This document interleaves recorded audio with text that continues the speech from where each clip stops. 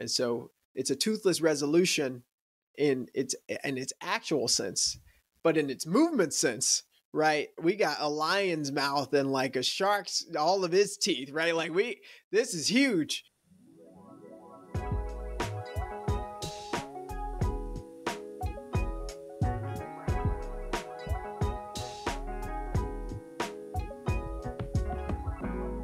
Welcome to the Craft of Campaigns. I'm your host, Andrew Willis Garces. In this podcast, we go behind the headlines and hashtags, inviting movement storytellers to share lessons from social justice campaigns. Campaigns are a series of collective actions focused on winning a concrete demand beyond one off mobilizations or election cycles. They have villains and heroes, teams that make plans to win, and activate people on the sidelines. In each episode, we explore one campaign through first hand interviews for key lessons, principles, and practices for organizers today.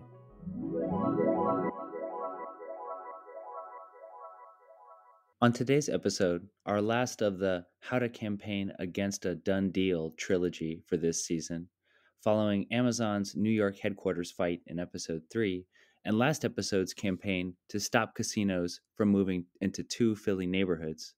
As many of you listening probably know, not many campaigns have successfully stopped an oil pipeline, and fewer still have succeeded once a company had all of the necessary permits and had begun taking possession of private land through eminent domain.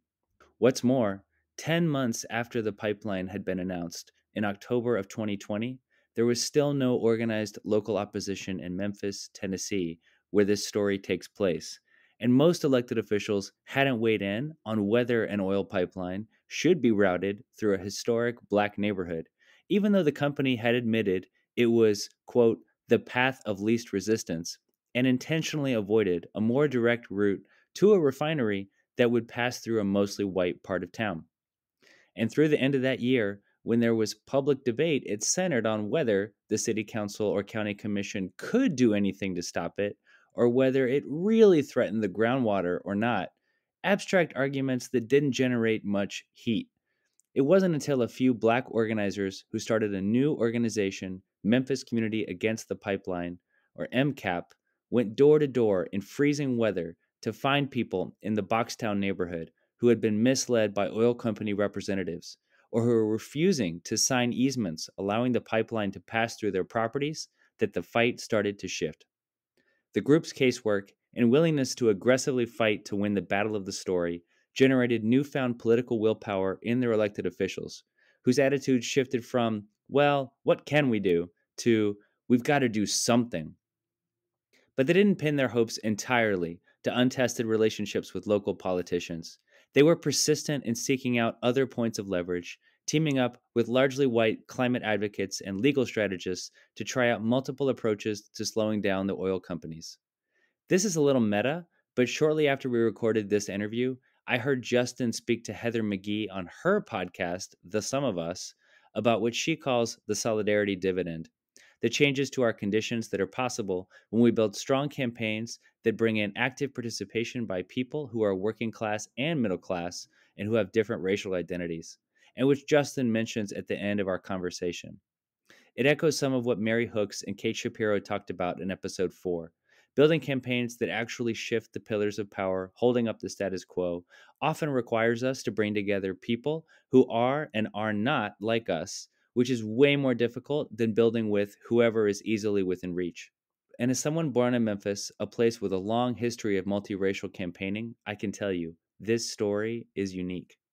Justin J. Pearson is president and founder of Memphis Community Against Pollution and co founder of Memphis Community Against the Pipeline, which is a black led environmental justice organization that successfully defeated a multi billion dollar company's crude oil pipeline project that would have poisoned Memphis's drinking water and stolen land from the community. He is the co lead and strategic advisor for the Poor People's Campaign National Call for Moral Revival. And a week ago, January 24th, he won a special election to replace Tennessee State Representative Barbara Cooper, who passed away last year and was an early ally to MCAP in their campaign. Next week, he'll become one of the youngest elected officials in the state. And just a note if you appreciate this story and want it to get out to more people fighting their landlords, bosses, and politicians who just don't seem to care about things like pipelines in our backyard, leave us a rating and a review to help us take collective action on the recommendation algorithm.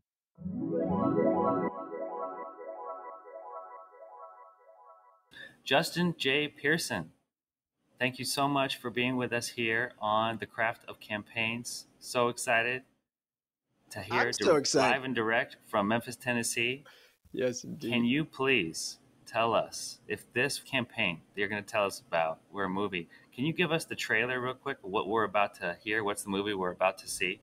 Yeah, I mean, it's a mix between a horror movie and that super inspirational adventure movie that everybody loves.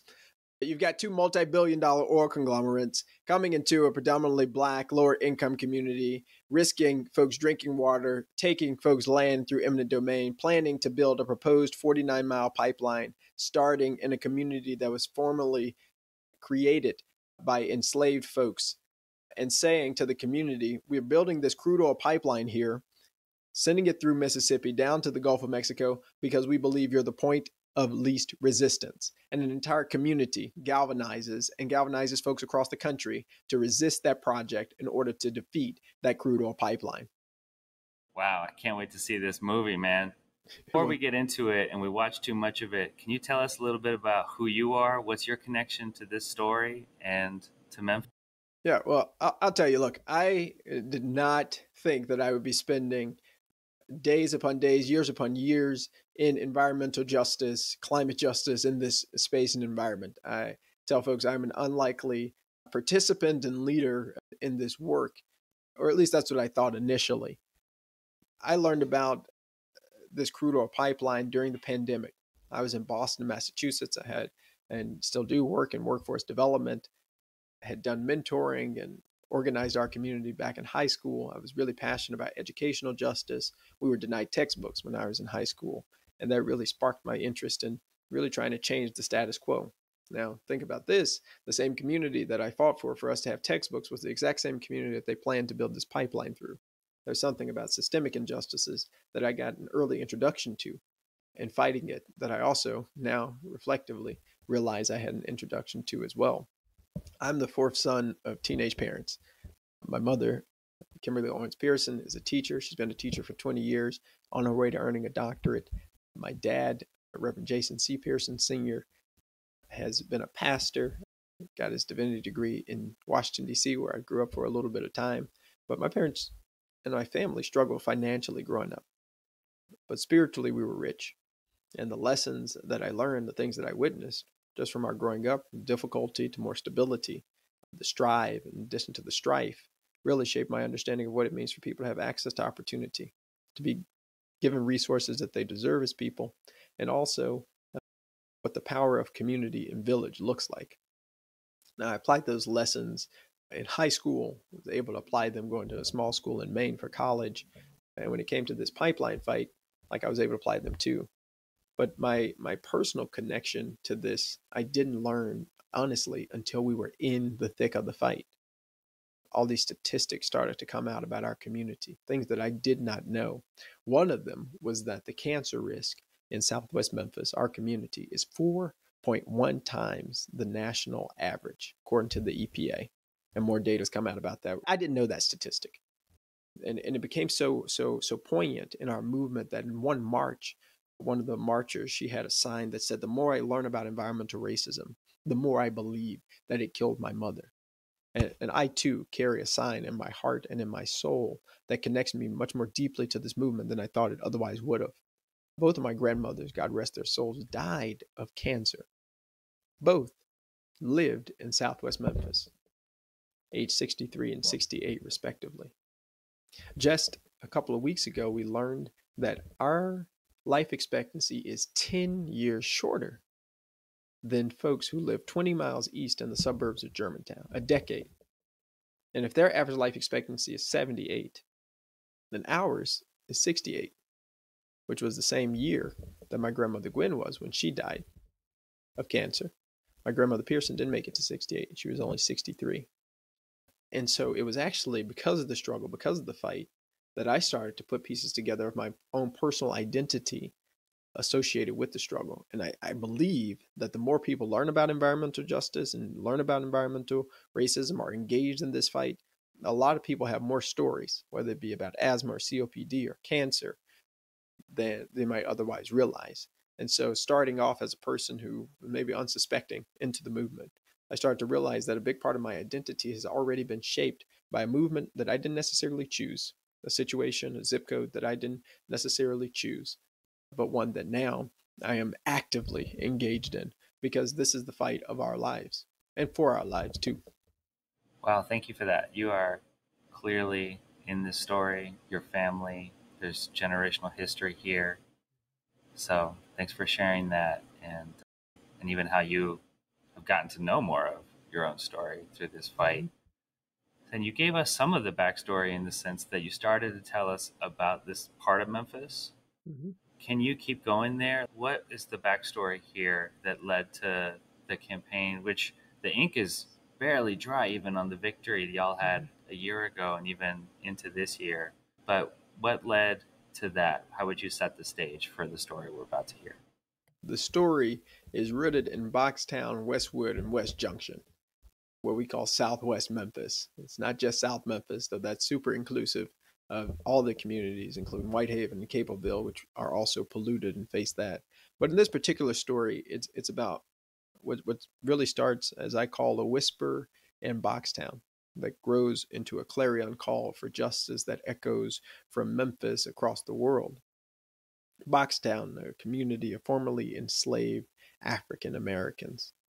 They built this community, and the reason it got its name that way is because they used materials from boxcars to help build and repair their homes. The descendants of those freed men and freed women still live there, but the culture and the, the ethos of that community is still quite vibrant and strong, and is the community that one of the representatives of the pipeline company called a point of least resistance, this type of place. You have to think about Westwood, my grandmothers were from, where we were raised in West Junction. Majority black folk $24,000 a year per capita income, not a whole lot of money. And yet, 64% of people are homeowners. And so there's a really important component of this, which is a sense of place, a sense of belonging that makes a neighborhood and a community familial. You're six degrees of separation from everybody, folks say. In Southwest Memphis, you like 0.5 to one degree of separation away. And it is that community, it is that love, it is that sense of place that gets folks galvanized, whether they're living in Nashville or living in other places, to be invested in the movement that is launched from Southwest Memphis in the environmental justice movement and joins the discourse nationally and internationally. And so, how does this get started? We have a historic black neighborhood, Boxtown, part of Memphis, and as I understand it, a pipeline company says we can make some money and we can make it easier on ourselves riding our pipeline. Actually, very inconveniently when you look at the map, but very through this black neighborhood. Yep. And where does that start? How did what what happens there? When is that? Yeah.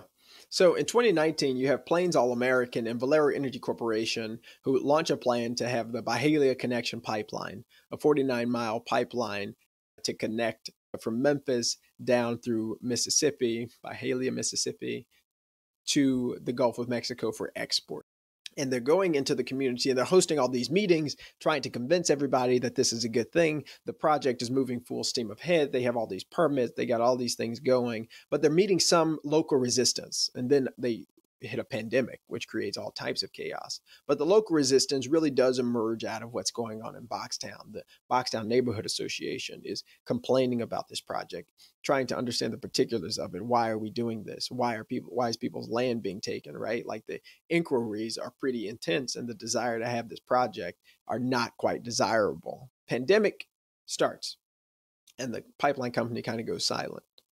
The community is still reaching out, trying to figure out what's going on, reaching out to State Representative Cooper, State Senator Raumesh Akbari, right? Trying to like figure out how they can be engaged in this process because people still don't want to have the project.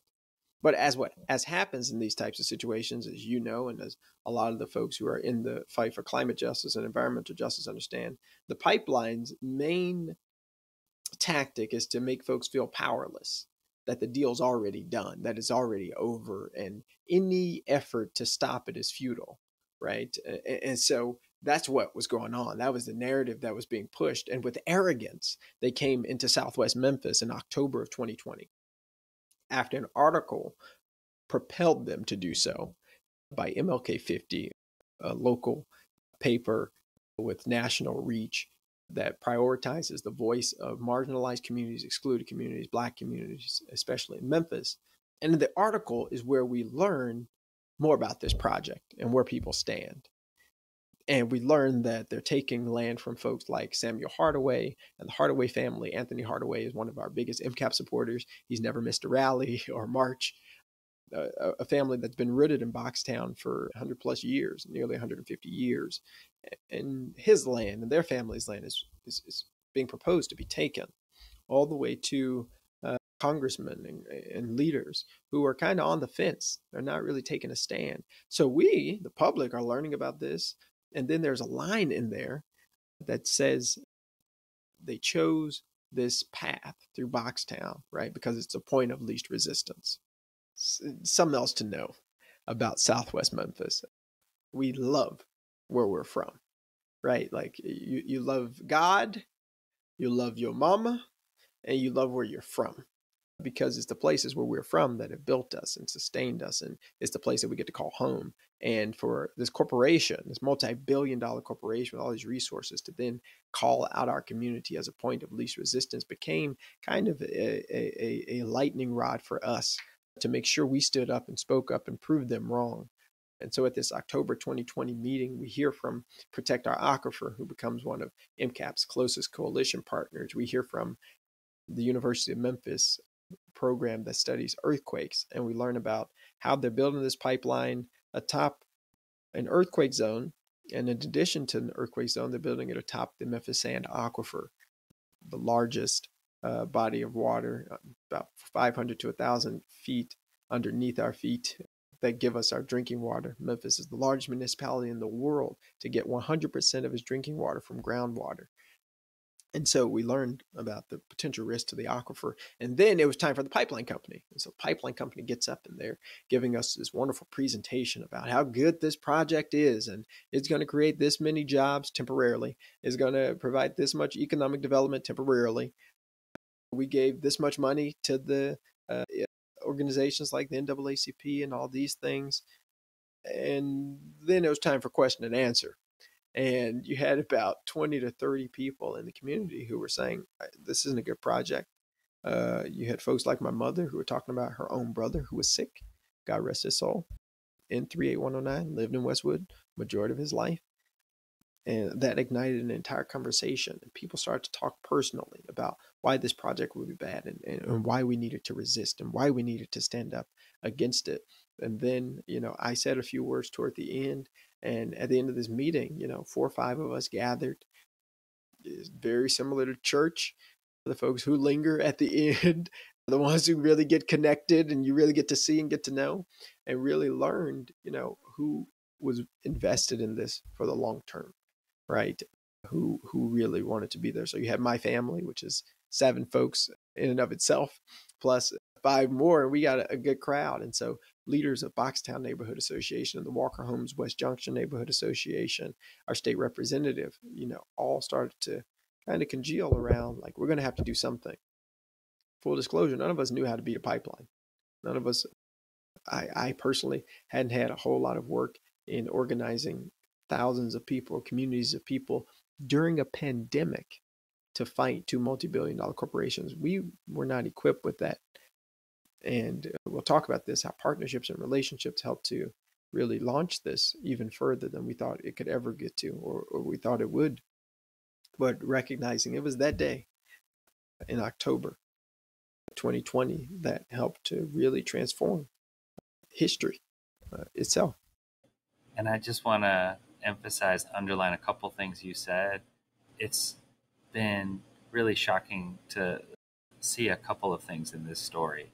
And one is that it wasn't until December 2019 that Plains All American said, We're coming through Boxtown, mm-hmm. and then held some open houses in January and February that were not very well publicized, very lightly attended, and it was all good. Don't worry, opportunity. Mm-hmm. And also started reaching out to a couple dozen landowners in the neighborhood and saying, look, you might as well sign an easement and we'll pay you a mm-hmm. little money. Because if you don't, we're going to take your property through eminent domain. And it is a done deal, and there's nothing you can do about it. And none of your elected officials are talking about this. And that attitude seems to go on for the next seven or eight nine, ten months. And there isn't much news coverage except this is just kind of happening and that's it. And the Boxtown Neighborhood Association had even invited the company to come to meetings, and they had mm-hmm. said no throughout the summer.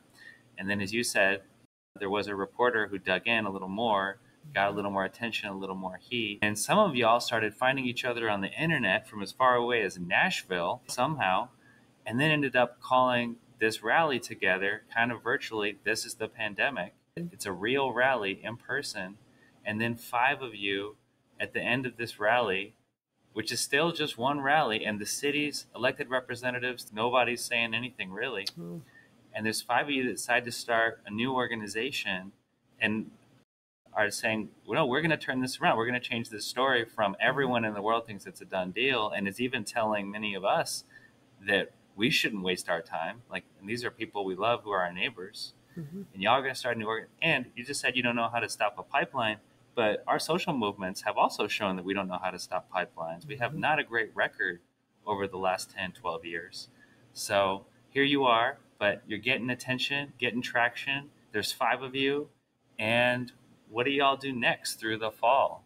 Yeah, that's a really helpful point. So, one of the things that we wanted to do is to gather as much information as possible. Uh, the pipeline company had years uh, ahead of us, right? They'd been doling out money to people and trying to solicit support in that way. And so we had to gather information. And one of the things that was really important for us was look, we, we want to make sure that we know as much as anyone so that we could be like the primary drivers of the movement. And so that took a lot of conversations with people in Boxtown. It took a lot of conversations with people in different parts of the city. Our friends at Protect Our Aquifer had attended a lot of those meetings that the pipeline company had held, recorded a couple of them as well. And so we were uh, pretty intentional about gathering information. The other thing was finding points of resistance. There was aquatic resource alteration permit. We put an appeal against that with the help of Breach Collective, and those are our first coalition partners and our attorneys became our attorneys in the fight who helped us to write an appeal. And then we were like, okay, let's keep learning. Let's keep finding the places where we're able to push, right? Where we're able to potentially stop, where we're able to resist. And then we learn more about this group called the Southern Environmental Law Center, who become our attorneys. And in talking with them, we learn more about eminent domain. And so what happens in the fall part of what happens is we're starting to learn more about how people's land is being taken, learning about the laws of eminent domain, trying our best to find impacted people. As with any good movement, it is only going to be as good as those who are being affected are engaged. That is a requirement of any social justice movement, any good work, is that those who are most proximate are the folks who power the movement. And so we're learning about eminent domain, we're, we're fighting aquatic resource alteration permits, and we're realizing that we need people who are more proximate. We had a couple dozen people who were very interested, who have been passionate. Folks like Van Rutherford, you know, I'm talking to him on the phone. He runs a group of senior citizens who care about the, the public parks, right? Like we're, we're doing what we can to, to talk to folks. But it wasn't until that December rally where, yes, it was the pandemic. We were attempting to keep folks physically distant, have hand sanitizer, have masks, things of this sort, where we create a public forum for this conversation. Um, there hadn't been any public forums. The only way we would be able to spread the word out, uh, as far as we understood, was to be able to gather folks, uh, which was scary. There's no vaccine. Uh, people are dying, especially in our communities, black communities, especially in communities where asthma rates are high, our communities. Uh, but the risk uh, of not getting this message out there, informing people about what was going on and educating them about the risk of this pipeline project and helping them to become advocates themselves to our elected leaders was much worse, honestly, than what could have happened. And so, one of the things that we did at this rally was set the framing for people, inform people about what was going on. And the next was to actually open the floor. We wanted the community to speak, not just Justin, not just Kimberly Pearson or Jason Pearson or KeShaun Pearson, right? Not just our co founders. We wanted to hear from the community. And so we opened the floor and a little bit of everybody started talking. And as with any public forum, you kind of got to be ready for whomever shows up and allow them the, the space, right, to take up the space physically and in voice. And uh, the last person to speak is Marie Odom in her red sweater. She gets up and she has paper in her hand and she's telling us the story about Mr. Clyde Robinson and his land that Byhalia Connection Pipeline is suing him for. They're trying to take it because he refuses to give it over to them. And her voice, all the things that led up to her even finding out about the event from the president of the Boxtown Neighborhood Association, Miss Marcella Shepard, who she was connected to because she was driving around Boxtown and just asked people about the pipeline project and if anybody was resisting. And a random group of men told her to go find Marcella, gave her Marcella's address, and she went up there, right? Like all these acts of God, divine intervention that bring Marie to the rally in December transforms the movement because now we're not just fighting two multi billion dollar companies and fighting against them, trying to get our congressmen and our two mayors and our state representatives and state senators to resist our city council and our county commission. Now we're not just fighting against something, we're fighting for someone. We're fighting for Mr. Clyde Robinson, right? 80 year old black gentleman. We're fighting for his grandkids, you know, like Omari and his daughter, like Marie. And that's a pivotal change in the direction that we continue to go forward. And so throughout the fall, after meeting them in December at our first rally, we're beginning conversations with uh, Amanda Garcia and George Nolan about eminent domain. And they tell us more people have been sued. And we really get to work uh, looking people up on Facebook. I go in the car with my mom to people's houses in the rain, knocking on doors like, hey, did you know you've been sued? Or hey, there's some help available. And that was one of the things I told Mr. Robinson after that rally. I said, we're going to get you a lawyer. Although I, I, I didn't have a lawyer that we could get him. Uh, but I believed, I believed we were going to get him a lawyer.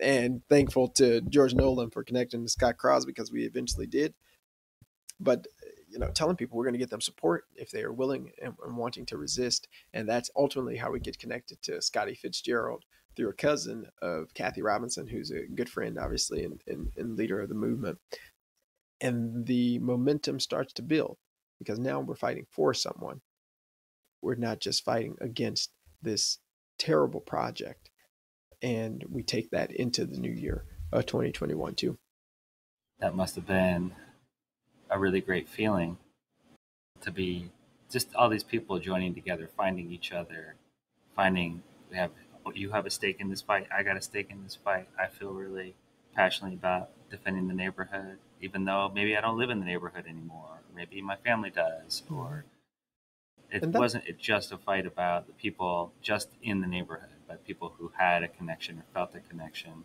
in addition exactly right. to, it sounds like you know, protect our aquifer is not a group of people who are from the neighborhood traditionally fighting alongside it's you know African Americans, black people of any kind in mm-hmm. Memphis. Is my understanding. That's right. But you start to build this multiracial, multi-class coalition mm-hmm. that also includes people who are trying to figure out how to change the story, trying to figure out what are the legal angles, how do we work together respectfully, mm-hmm. Can you say a little bit more about what that collaboration was like? Yeah. So, in fact, the way we got introduced to the Southern Environmental Law Center was through Protect Our Aquifer. The way we got introduced to the Breach Collective was through a connection I'd had in college. Again, this was a white young woman that I had connected with in college and asked, like, hey, can you help me with this environmental fight on like LinkedIn or something? And she'd found it. And so think of that, right? Like two white folks really help us to connect with who becomes our first coalition partner, even though they're out in Portland, Oregon, and the Southern Environmental Law Center, who become the lawyers of this movement and of this fight. And so it's a good, really helpful point here. In addition to making sure that we have our people power proximity, it's been really an intentional effort. It was an intentional effort to make sure we had partners who were bringing a lot of different stakeholders into the conversation. The truth is, folks in Boxtown have been uh, screaming for a while and in Westwood, right, saying they didn't want this project to happen. People have been raising their voice saying, you know, this isn't a good idea. We don't like this. We don't think the benefits are real or they're fabricated, these types of things, but they weren't being listened to. And it wasn't until after that October meeting where now the state senator, senator, the state representative is starting to listen. That's really helpful. But you don't really have the ear of the congressperson. Neither of the mayors have said anything no leaders of the city council, no leaders of the county commission, even those who represent the district, completely silent. As the movement grows, people in the community start to continue to drive the conversation, continue to be the source of inspiration, motivation, engagement. But we bring in an element of different power, just a different level of power. That's what Heather McGhee in her book, The Sum of Us, calls uh, building the solidarity dividend. And building a cross racial, cross class movement is how victories are won. Whether you think about the abolition movement, you think a lot about the civil rights movement, it requires people who might otherwise be separate or view themselves as separate from the fight joining it in order for us to win. And so you have Protect Our Aquifer, which is nearly 100% white of an organization, and middle class to upper class board members and people actively engaged who some are retired and so they have more time or energy. Some of them have PhDs or doctorate degrees who are choosing a social location with folks in our community in Boxtown, folks who might not have had access to the same opportunities, who are not being listened to or would not be listened to in the same way and finding that by interconnecting our stories, recognizing that if we allow the pipeline to go through southwest Memphis, uh, the potential for it to contaminate our water is quite severe. We know there are breaches in the clay layer, for instance. If we allow people who are already oppressed to continue to be oppressed, the effects of that don't live just with those who are being oppressed initially you poison the water, it might start to be poisoned in southwest Memphis, but water doesn't have a point or a place where it says, here's the black part of town, here's the poor part of town. It'll hurt us worse, but it'll hurt everyone. And getting people to realize in a loving yet self interested way that what happens to people who are most oppressed what happens to people who are most marginalized does have serious implications for you too. And I think them bringing what was quite literally a level of knowledge about the aquifer that we did not know. Now we've got people all up and down South Memphis talking about the aquifer, right? Didn't really understand that in the same way before. We knew we had the best water in the world, didn't really know why. I knew it was sweet, didn't really know why. But we learned, right? And they were able to bring some technical expertise in addition to their personhood and their their social location, which was a little bit more well connected and had a lot more resources. And so when we built a movement that looked more like a diverse Memphis, looked more like people who are most excluded leading the conversation, it actually changed people's listening.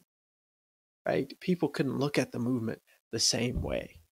Uh, as is often written off when you just see indigenous folks marching. They're like, well, those those people's issues. When you just see black folks marching, well, that's just those issues. When you just see white folks marching, well, that's just those issues. But when you have a diverse group of people from different parts of the city ultimately, eventually, it will become different parts of the country who are all raising the same issue about environmental racism, environmental injustice, environmental degradation, risking drinking water, stealing of land. It changes the narrative and says that this community that you thought was alone that can be picked on, that was a point of least resistance, is not that. It is a place of resilience, but it's also a rebirth or a birth of something even more beautiful and more profound is the birth of a multiracial, multi-class movement that is going to help to shape and reshape the narratives so that we can create real and sustainable change. And that sounds great. And here you are coming into January, February, with more people in the neighborhood, outside the neighborhood, connected, keeping each other's spirits up, inspired, want to fight, have lawyers, still don't know if you can mm-hmm. get the leverage to stop the pipeline? Can we find the legal argument? It looked to me like city of Memphis council members, some of them starting to pay attention, not necessarily from the like who represented the neighborhood, but right. even others.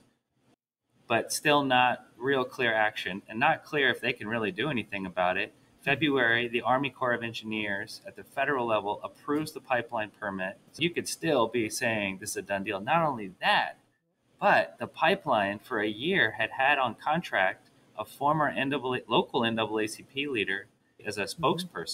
And had given out over a million dollars to 26 different Memphis organizations, including the local NAACP chapter. Mm-hmm. So you could both make the case that y'all got some momentum. And by the way, shout out to y'all who also were canvassing to turn people out door to door for city council meetings Ooh. in sub freezing temperatures. Not a thing that happens many places, Ooh. but especially not a brand new all volunteer organization. So we could argue you got momentum and you're clearly able to motivate each other through sub zero canvassing, but you also don't yet have any political wins at your back. Still not mm-hmm. sure how we can stop this. And then we go into March, and it seems like things start to turn, and the next phase starts. And so, what starts to happen? Yeah. So, once we've got attorneys, we've got a couple of people politically after that January meeting is when, God bless him, he's our champion on the city council, Dr. Jeff Warren really joins in the fight, arguing for a resolution that says the city council is against the Byhalia Connection pipeline, which garners some more attention and support, which I'll get into here. Our congressman shows up in person for that rally and says that he wants to stay engaged and actually support us. He writes letters to the Army Corps of Engineers, in fact, even after its decision permitting the Byhalia Connection pipeline. And side note, the Nationwide Permit 12 is being reviewed in part because of the Byhalia Connection fight, and they wrote that in the note. And the county mayor was at that January rally. The next one would be completely virtual in February because we experienced a snowstorm unlike anything we've ever experienced. And this is where divine intervention plays a role in how we one, we have to boil water for the first time in Memphis history. A boil water advisory is sent out to the entire community and it says if you drink the water, you can get sick. What? The best water in the world is at risk by the weather, and now we want to risk a pipeline going through it, right? Like the company that is building the pipeline had a flare off of historic proportions that sent all types of toxic fumes in the air during this during this winter storm. And so we started to have incidences happening that raised the specter of like, is the best idea for us to actually risk our drinking water, right? When for a week we had to boil it and it became nearly unbearable to think that, well, wait a second, I can't brush my teeth with that. Wait a second, I, I can't I can't eat with that and our brothers and sisters across Jackson to Flint to Baltimore are experiencing this now uh, in, in 2022. And we were forced by time itself and climate change itself to think about those questions. And all of this propels the conversation forward. We have another rally that has to turn completely virtually because we can't go outside because of the level of snow that that, that was out there. And two city council members who'd never shown up to anything before show up right? And, and the conversation about this resolution, we need to pass a resolution from the city council and we want it to pass, right? You, you don't want to suffer losses in the movement. Losses are very difficult to come back from, though it is possible. The first uh, fight that I remember is, is at Standing Rock, right? Fighting against fossil fuel infrastructure. And that seed, even though I didn't realize it, germinated so many years later in our fight within my own experience. And so losses aren't always losses in the way that we think about it. They can be something that can propel the, the, the fight forward, which is what we want ultimately. And our partnerships are growing. We go from Memphis Community Against the Pipeline and the Breach Collective and Southern Environmental Law Center and Protect Our Aquifer and Tennessee Sierra Club to a larger group, which includes folks like the Climate Reality Project. And we get folks in Memphis on board, and we get this gentleman uh, in New York on board. We have Duffy Marie in Memphis and Tim Guinee in New York. And he says, I have a crazy idea. What if we got Al Gore to come to Memphis? Right? Like Al Gore, former vice president of the United States, Al Gore, leader of Climate Reality Project, to come to Memphis and like talk about this issue. And I'm just like, wait, what? It's like, okay, we've got this this legislation being pushed. I was like, I think this is good timing, right? Like let's try and make let's try and make it happen. And so that coalition, right, that echo that started, that whisper that started in Boxtown that starts to echo, gets echoed all the way up to Vice President Al Gore. And we're now saying we are right on our arguments. We, we believe that there is something that can be done locally, despite all the local governments at first saying there was nothing they could do. Thanks for, to our entire team, we found there were some local things that could be done. The federal government didn't care about drinking water, the state government didn't care about drinking water, but it could be protected at the local level. Great.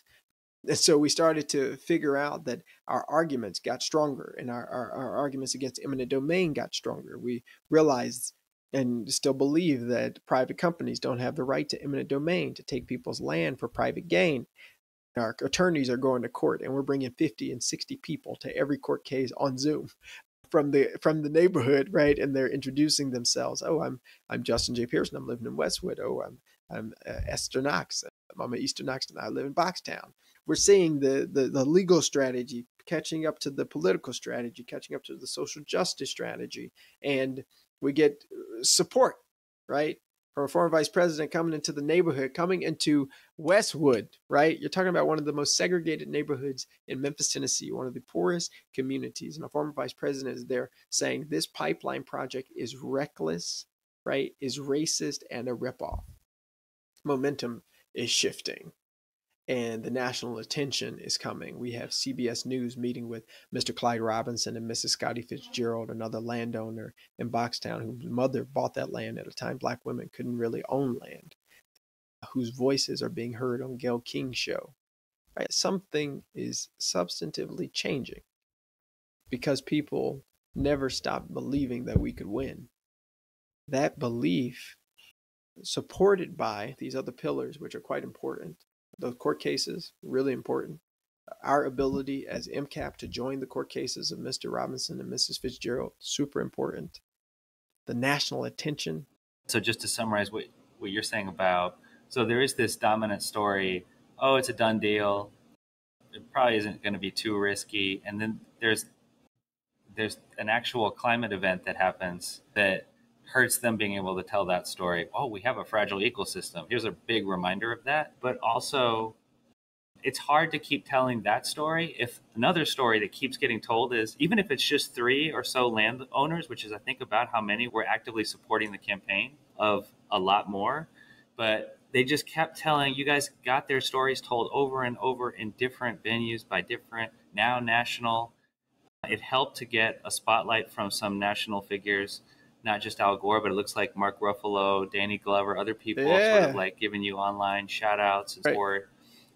So it's harder and harder for the done deal to be the story if it's, well, wait a second, these people, and even one of the landowners said they were being deceived. Mm-hmm. Plains All American is suing 10 of them. The thing I wanted to slow down too is y'all convinced the judge to let Memphis Community Against the Pipeline, your grassroots organization, represent the community and landowners so they didn't all have to be in court you could also bring people with you and mm-hmm. bring 40 or 50 people and even got them introduced and the opening roll call would just be your 40 or 50 people in a court case. That's unprecedented unheard of but you all just made yourselves really hard to ignore. Of course there are things that are like oh that's an event that we couldn't have predicted but also just kept the drumbeat going.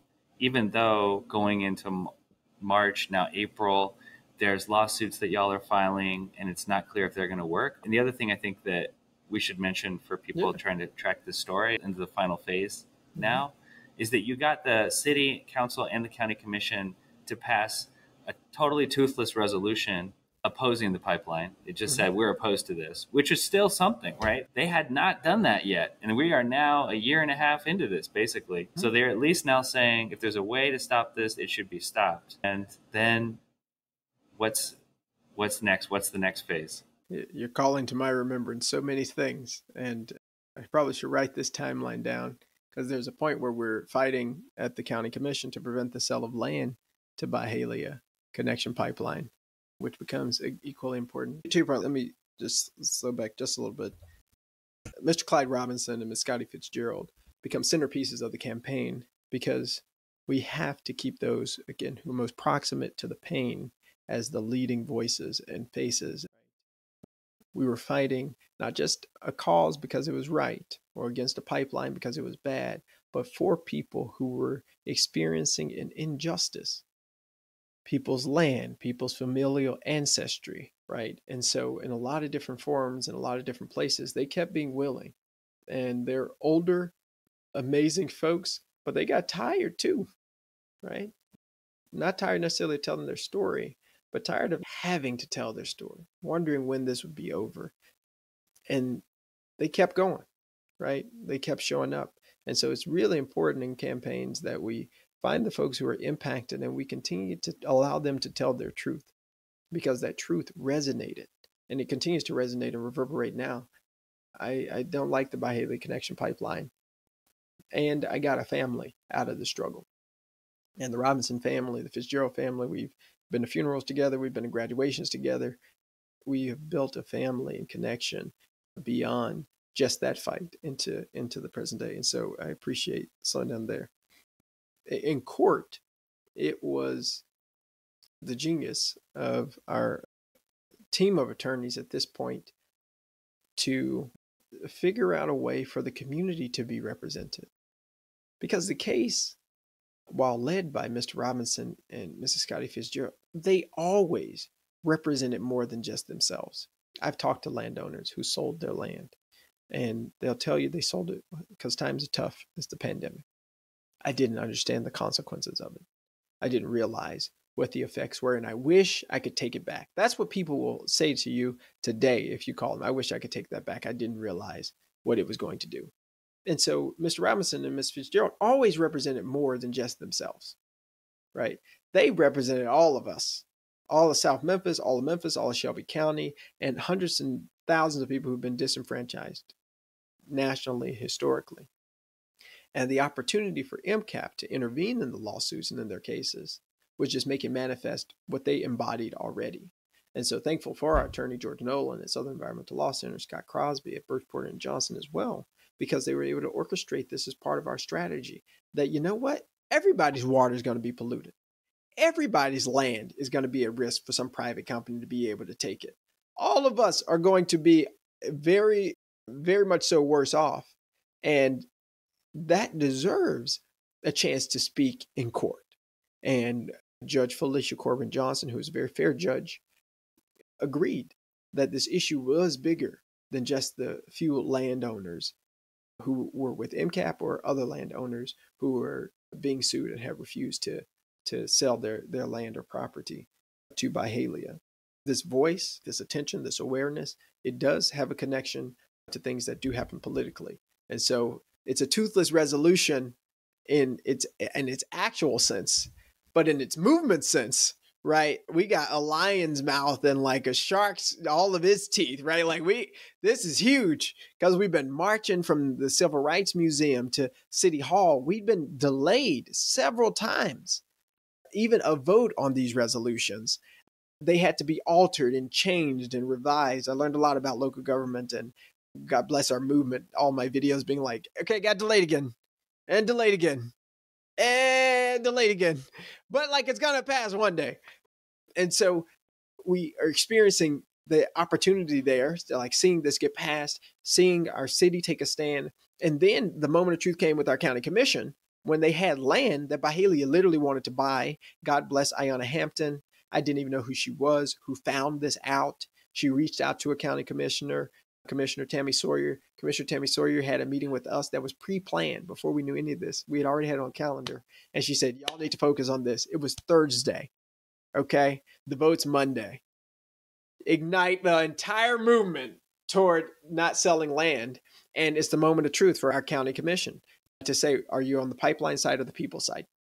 And overwhelmingly, in a supermajority, I think it was a nine to two vote, including with Republicans and Democrats they said we're on the people side. We're on the protection of the folks' land. We're on the protection of our water. We're on the protection of our community. And that again buoys the movement as it moves forward. Now we're up against an indefinite timeline And as movement organizers and people in this work, that is scary because you don't know they got the permits right they, they they have all these things they don't have one essential permit locally which is important which is a permit to cross city streets which our mayor's office and the mayor's attorney extraordinary were holding until we had more information all these other things but they got most of the permits they're maybe 90% there we're up against a timeline of them being able to start they literally have advertisements about them getting the U.S. Army Corps of Engineers approval and ability to start construction. Can I say that they're also scared because at the same time, this is April, May 2021, they get the American Petroleum Institute, I love this, to start a grass tops email campaign yes. to counter you guys that they named Citizen Energy, Energy Citizen. Yeah. And but it's like they're not even hiding it it's literally the out of town petroleum institute is yep. trying to get people to email the city council slow down and back this pipeline and i'm curious is this also when you all landed on this ordinance idea of banning pipelines within a certain feet mm-hmm. of schools houses it's interesting because another campaign story we're hearing this season is where they used exactly this tactic in philadelphia to mm-hmm try to keep casinos out. So I'm wondering if you could say, because you, have talked a little bit about what the mm-hmm. engagement was with city and county elected officials. Mm-hmm. How did you all figure that out? Yeah, yeah, no, that's super helpful. And there was another one called like Good Jobs for Memphis. I think in a weekend they spent. It eventually came out they spent maybe fifty thousand dollars worth of ads. I was like, man, I wish we had fifty thousand dollars, but it's okay. To your point with the electeds, right? So we realize that the there's no help coming, as it were, right? The federal government has abdicated responsibility for our protection. The state government has abdicated responsibility for our protection. The president doesn't look like he's going to intervene in this particular fight, although we learned that Vice President Gore told him about it. And uh, locally, we're trying to figure out what options are available. And a lot of credit for at least one of the ordinance comes from our, our county mayor, who said, How about we just protect home schools, churches, playgrounds from crude oil pipelines? And I talked with Alex Hensley, who was his special assistant eh, about the crafting, and we get our lawyers about the crafting and say, That's a pretty good idea. And we really start to hone in on okay, this is the type of legislation that it would do what we want it to, right? You can't have this type of infrastructure within you know 1500 feet of a school per se or home or church and it provides for some exceptions maybe but you have to go through a process if that's something that you want to do similarly we were thinking on the city council side well let's try to pass the exact same legislation that was not as effective but there were other pieces that we were able to pass let's protect our wellhead overlay zones for instance the pipeline was planned to run through our drinking water well field so that would have prevented this this project from being passed? And why are these companies from out of state allowed to come into our town, into our cities, into our county without anybody's permission who doesn't live here, right? All permission is coming from Tennessee Department of Environment and Conservation, federal government. They don't live in Memphis. They don't live in Shelby County. They don't live in Tennessee. They don't know what we're going through. So why is all the permissions that they need outside of the place impacted? And so another piece of legislation that was passed was to say if you want to build that type of infrastructure in our city, you have to get permission from our city council to do it, which is the the people, as it were, as it should be. I will say, it takes several months to pass through the county commission. It takes even more months. In fact, after the pipeline fight is technically over and it has been canceled, it takes an additional three to four five months for us to pass legislation at the city council but the reality was like, where is it that we do have power locally?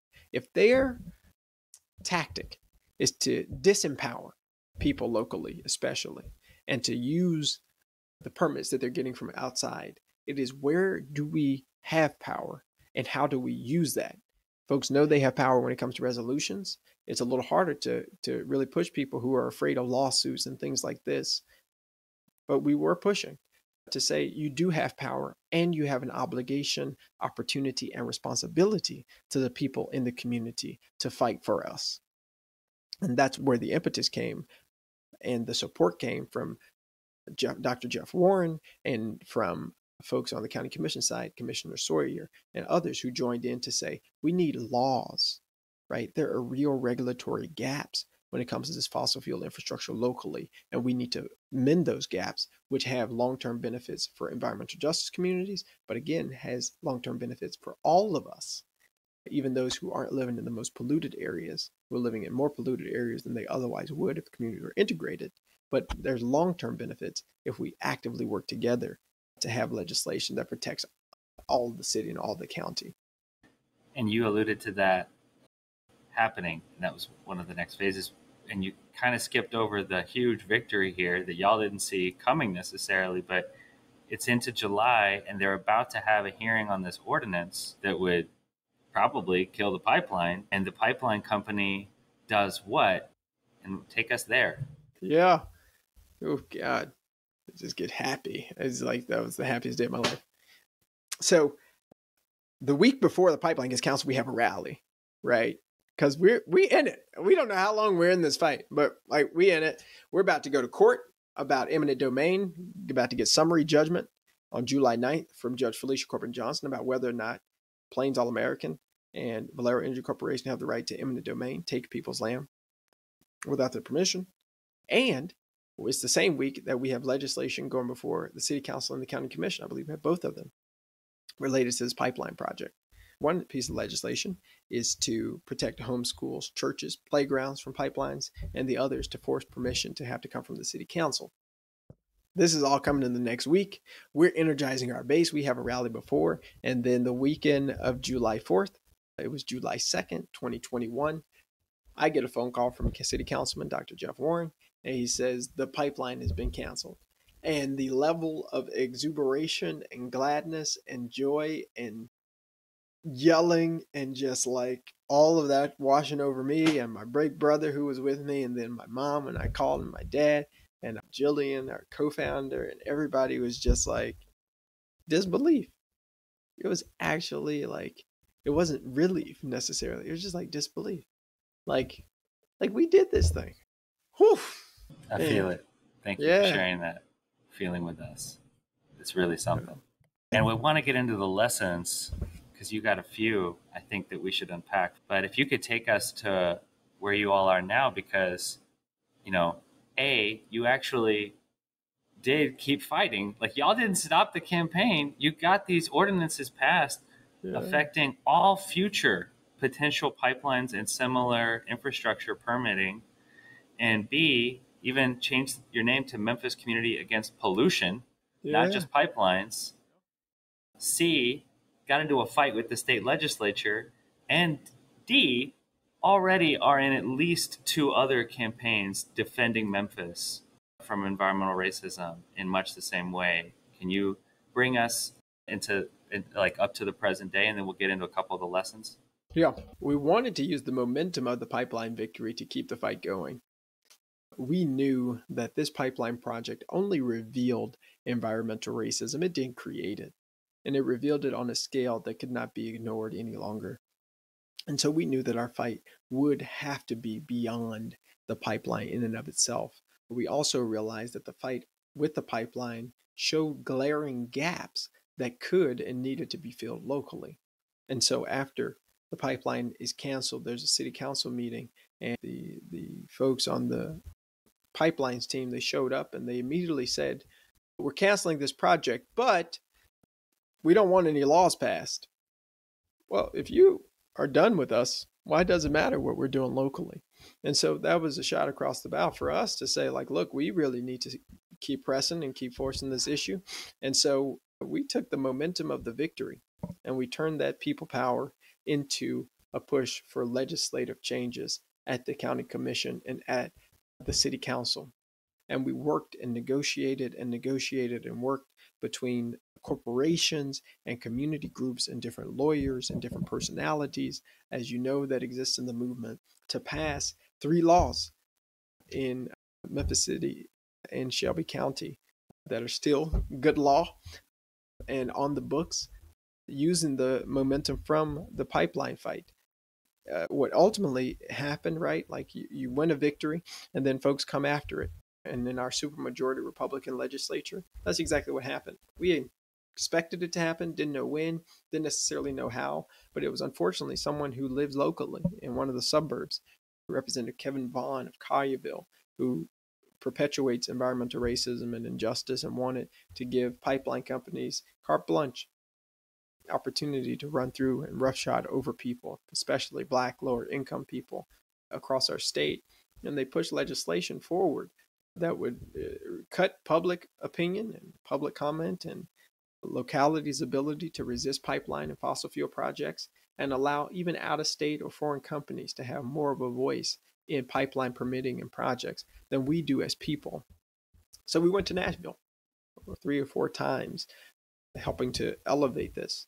We went once and they didn't even speak about it. And so we had to come back, but we came back with more people. And we not only defended the laws that we had in Memphis, we elevated the issue to such a point that people across the state, including in some smaller towns that look a whole lot different than Memphis, and I assure you probably vote different than people in Memphis vote, who said, look, eh, you can't take all of our power away. You can't strip all of our power away. And while that law ultimately got passed, we got three amendments in there that helped to strengthen our positions within it. And in a supermajority Republican legislature that is the type that will burn and ban books, our ability to get that law changed and to get it delayed enough in order for us to change it and, and input from our lawyers to be included in some ways turned it from most horrific and terrible law into something that's just pretty bad. And our job, right, is to continue to defend as best we can against the forces of evil that that are existing, that are against our will. Was disappointing locally. We got people across the aisle to see what was good for everybody. But what happened in Nashville was corporate money telling people how to think and what to think. And unfortunately, the people and the quote unquote leaders, a lot of the leaders, quote unquote leaders in Nashville, accepted that status quo. And can you just quickly tell us where you all are at with the new campaign that you're fighting yeah. and how this one led to that one? Yeah. So, about midway through the fight against the pipeline, our attorneys told us it was going to be important that we incorporate it. And we wanted to have a name that would last beyond the pipeline fight. And it was clear. They said that something's going to happen with the pipeline, right? And you don't want to be existing only about that. And so we wanted to keep MCAP, which is our grassroots name, and got into a conversation about what P should we change to and what issue were we working on beyond the pipeline fight and it became pollution. And so when we beat the pipeline, we were able to really officially go into our name being Memphis Community Against Pollution. That is a recognition that there's a lot of pollution in the air in the water in the soil in Memphis and Shelby County that has gone unaddressed for decades because of who it's impacting, not because of how terrible it is, because people know how terrible it is. But it's well, that's that's just impacting poor people, all right? That's just impacting Black folks. And so now we're uh, dedicated to helping to elevate the issues of toxic air and and of toxic pollution that's happening. I think there's so many lessons already that those of us listening to your story could pick up, even without you pointing them out, about what to do when it feels like the world thinks we're down and out. Maybe mm-hmm. we feel like that too, or some parts of us do, even though the other part is canvassing at sub zero temperatures. Getting people out to city council meetings where we don't even know if we have the power to win the thing we need to win. There's a lot that's in there. I feel honored that you all you're sharing it with us. What do you think other organizers should take away from is this campaign story? Look, we have to center folks who are most excluded and marginalized in the fight. We have to center people who are most impacted. That voice, that perspective, that guidance, that leadership leads us to victory. The status quo is to silence those very voices those who are being told that they're powerless or that they're voiceless. No person is powerless. Everyone is intrinsically powerful. No person is voiceless. Everyone has a voice, whether it's heard, whether it is signed, whether it is written. Everybody has a voice, and we have the responsibility of finding the way to hear it and to help elevate it if we are in places and positions of privilege to do so, which connects to that solidarity dividend. No movement in American history has been effective if only one particular group of people were it, right? The end all and the be all. It's proven more diverse groups lead to better outcomes. In social justice, it is going to be a group that is racially diverse, economically diverse, knowledge wise diverse, right? That helps us to win. It isn't going to be a room full of people with just PhDs who have all the statistics and have all the right graphs. It isn't just going to be the room of lawyers who are all really smart and went to all these great schools that's going to do it. And it isn't just going to be a room of people who are, have been hurt and oppressed and are screaming for help.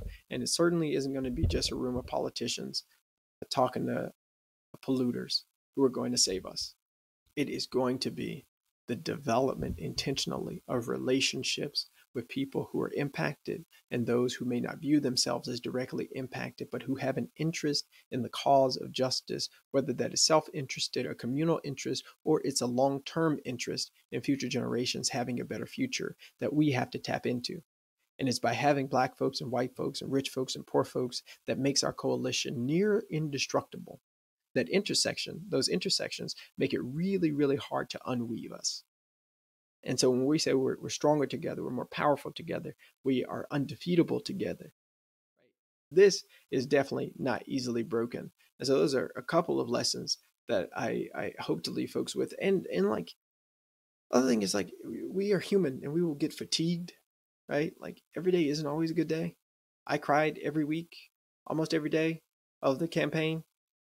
Honestly, right? I didn't make a whole lot of new friends per se outside of the movement it was difficult. And so it's recognizing your humanity and keeping the spirit, right? Our spirits are not destructible, right? They can't be broken, they can't be bent, they can't be bowed down. And our spirits, when we win, our spirits, when we lose, are indestructible and they will continue to propel forward. And the beauty of the movement is really just the amount of spirits that keep showing up on good days, on bad days, and throughout and that we have to continue to foster as well. That's great. I really appreciate you sharing those lessons and insights. Last question just mm-hmm. if there's another wish that you have for us or an insight you want to make sure that we absorb, or another offering, any last thoughts? Be intentional also about expressing gratitude. I try to do this so much more now to even my own family, my mother, who gave that riveting speech that October day that helped me to give my speech, uh, to our co-founders Jillian and Kathy Kizzy, to Boxtown and to Westwood and Walker Homes. Right? We have to be grateful for each other because that also reminds us of our worth as people. That we deserve clean air, we deserve clean water, we deserve to have lives that live in communities and environments that are just. I would stick to having a grateful heart for the people who are in the struggle, who are suffering, but who are in it with you. Because that's who you're going to need and that's who we're going to lean on. And I'm going to be leaning on into the future. I think as a parting word of wisdom is we are right. We are right. Every polluting company, every politician in their pocket, everyone who skews the truth against the cause of justice, they are wrong. I do not know how long we will be in this fight. I imagine a lifetime. I don't know how many more wins we're going to have or how many losses, but we are right. And so, in the end, just as the arc is long and time is long itself, we will win. And so, keep going and I'm going to be with you. Thank you. It's a great place to end. Justin J. Pearson, thank you again for joining us on the Craft campaign. Good luck and lots of good wishes for the next phase of the fights out there in my hometown. Thank you so much, Andrew. I appreciate this. And just a note if you appreciate this story and want it to get out to more people fighting their landlords, bosses, and politicians who just don't seem to care about things like pipelines in our backyard, leave us a rating and a review to help us take collective action on the recommendation algorithm. The Craft of Campaigns podcast is a project of the Organizing Skills Institute at Training for Change and made possible by grassroots donors. Visit Training for Change for workshops, training tools, and other resources. We welcome your feedback and nominations for other campaigns that should be featured on this podcast. If you like these episodes, please consider donating to keep the show running. This podcast is produced by Ali Roseberry Polier. I'm Andrew Willis Garces. See you next time.